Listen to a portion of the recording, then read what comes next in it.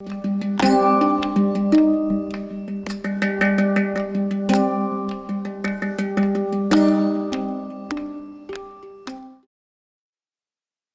standing next to a statue of Fibonacci created in 1863 by Giovanni Paganucci, a sculptor in Florence where the work was commissioned.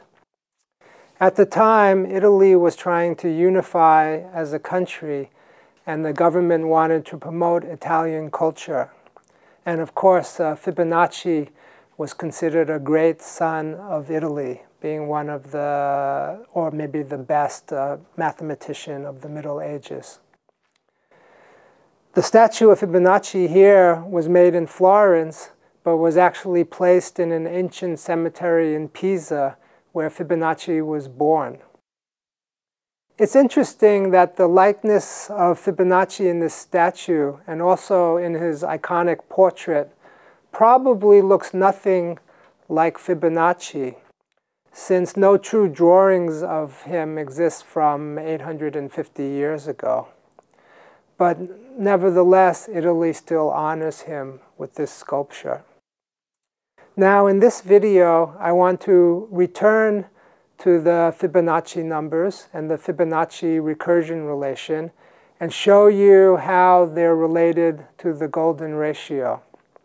So let's do some mathematics.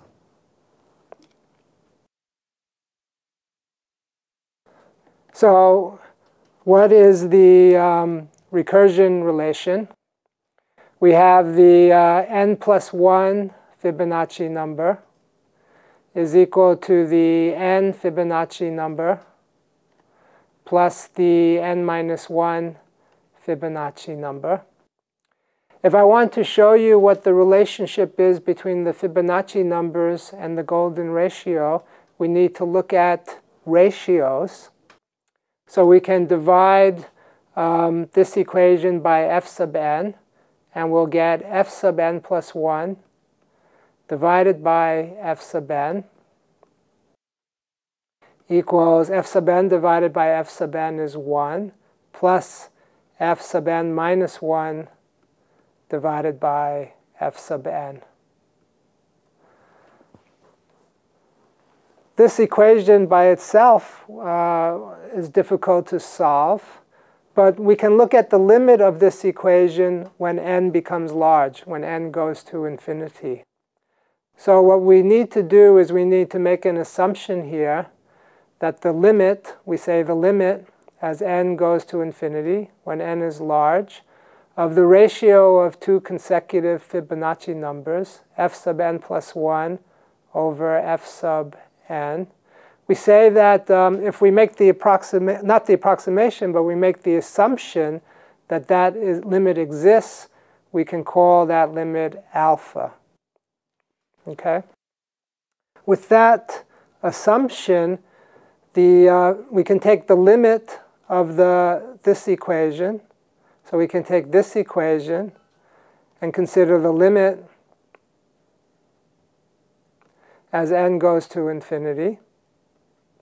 If we do that, we end up with alpha equals 1 plus, and then this is also the ratio of consecutive Fibonacci numbers, but it's the smaller one over the larger one.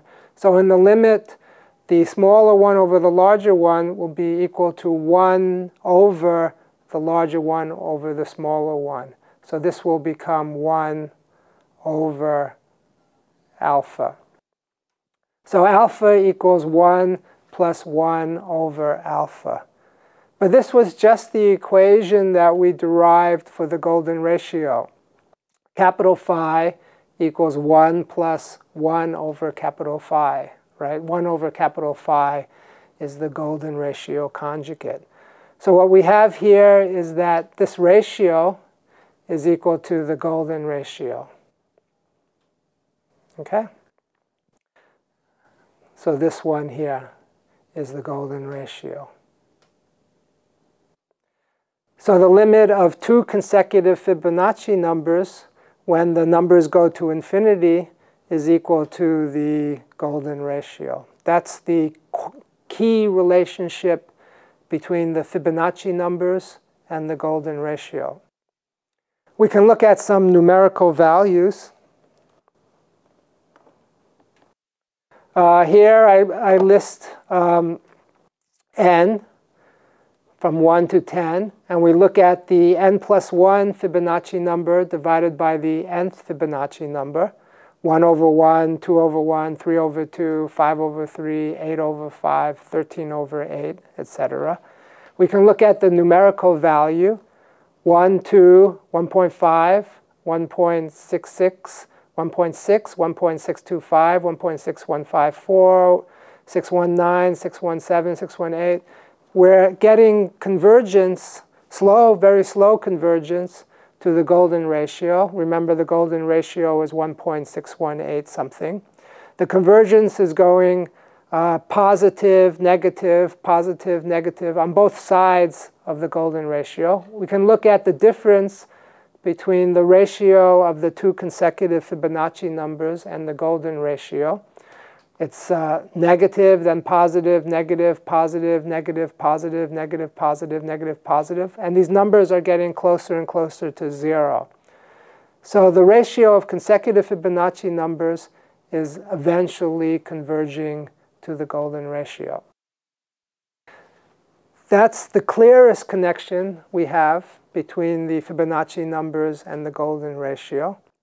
In the next lecture, I can actually show you what are the Fibonacci numbers. We can find a formula for the Fibonacci numbers that contains the golden ratio. That will be a very interesting uh, formula called Binet's formula. I'll see you in the next lecture.